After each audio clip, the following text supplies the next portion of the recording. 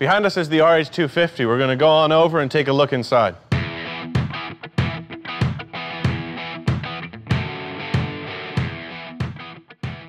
Here we are inside the RH250. In front of us here is a 250 horsepower boiler with a design pressure of 250 psi.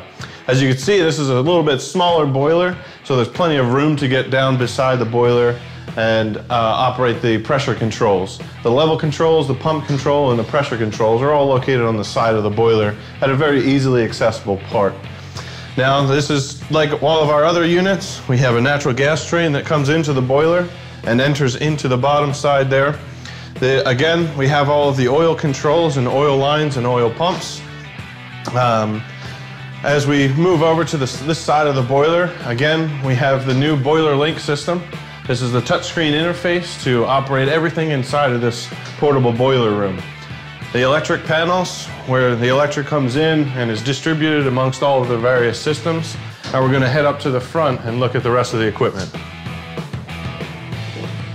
As we come to the front of the container, one of the first things you'll notice is this feed water station. The feed water system is made up of a 225 gallon stainless steel feed water tank. On the front here is a modulating ball valve for feed water control to the boiler. This is a modulating ball valve for makeup water.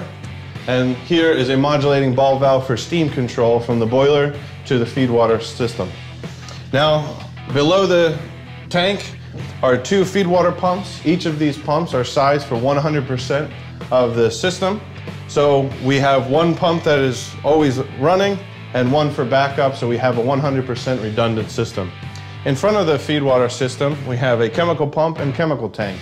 The chemical pump and tank make sure that the boiler is supplied with the appropriate chemicals for great operation. In front of that, we have this oil pump, again, providing the correct oil pressure to the burner so that you can run the boiler on oil as well as natural gas. As we come to the very back of the container, we have a 500 gallon uh, fuel tank. Above the 500 gallon fuel tank is a heat exchanger. The heat exchanger is used from the steam for, from the boiler, comes up and goes over and produces hot water for your system. Uh, as we move over to the side of the container, we have this duplex water softener system. Again, the water softener system ensures that you have the highest quality water and very soft water for the boiler to run on. As we look up into the ceiling area, we have the steam lines running from the boiler. On the right side, we have the steam line running to the heat exchanger, and on the left side, we have the steam line running to the feed water container. Now we do have some other components at the back of the container, including a blowdown separator, as with all of our units, and the air compressor for the oil lines is also back there as well. But that completes what we have in the RH250.